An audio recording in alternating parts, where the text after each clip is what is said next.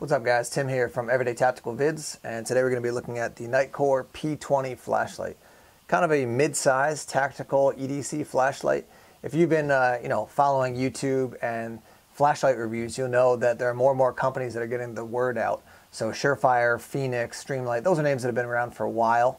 Uh, but Nitecore, you'll see more reviews on those. Lots of reviews on ThruNite that are coming out.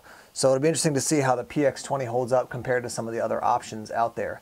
It's going to run you between probably 60, 65 bucks up to maybe 80 or 85 bucks, depending on the package you get with it. So you can get the light by itself, you can get the light with batteries, the light with batteries and a charger, a, a bunch of different setups. So um, pretty cool light. Uh, there are there are some nice features to it. The long-term use, we will see. I will show you in this video what it looks like actually in use. So we're not just going to talk about the specs.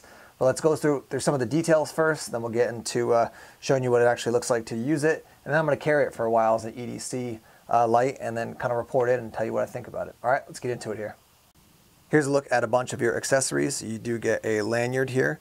You get a replacement end cap, two O-rings. There's the actual light. You do get a little uh, holster here. They call it a quality holster, in case you're wondering.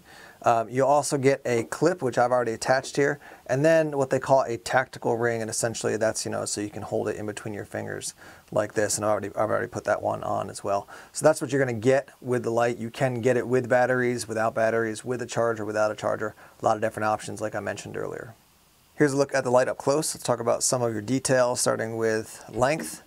End to end, you're talking a little bit over five and a quarter, and then across the broadest part up there at the top, you're looking at a little bit over an inch. Uh, some of the other details, it's waterproof and submersible down to 2 meters, impact resistant up to 1.5 meters. Your beam distance is 210 meters.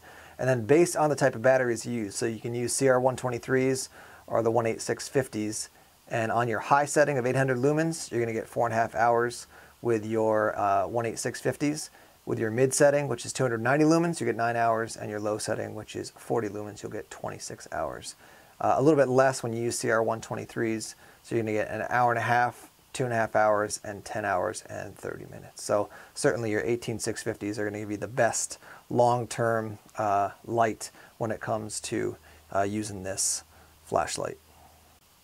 Quick comparison here. Here's the P20 compared to a Surefire Fury. So very similar in size. Obviously the Fury is going to be bulkier because of the uh, Theorem switchback. But in general, you know, around the same size. So if the Fury is too big for you, uh, probably not going to be a great light. If you like the size of the Fury, this is going to be a good option for you. So let me offer some initial impressions of the light. Size-wise for me, this is fine. I like my Surefire Fury, so this is gonna work for me. Again, this, that's a preference thing.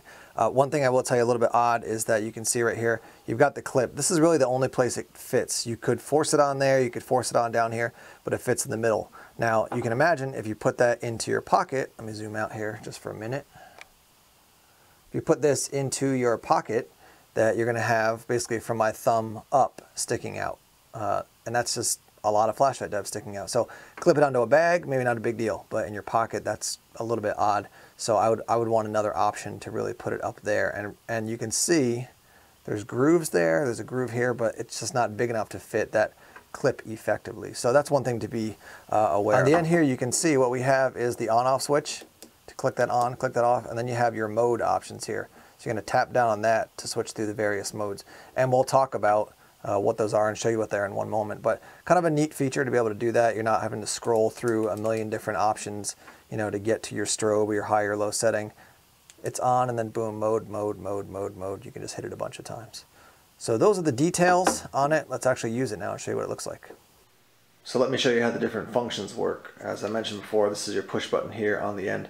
I'm going to tap that and you're going to see the light come on. Turn it off, on, off, on, and it's all the same lumen output, right? So that's not how you adjust your lumens. Again, this little tapping button here is what you press. So brighter, brightest, low, brighter, brightest, low, brighter, brightest. Now, if you hold this button down for just a minute, it's going to go into strobe mode.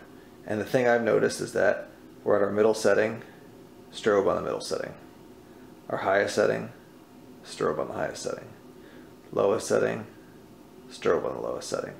So you're going to get the strobe option when you just gently tap this and hold it and then uh, if you just tap it gently and let go it'll go between the three different settings. So low, medium, high, low, strobe, medium, strobe, high, strobe.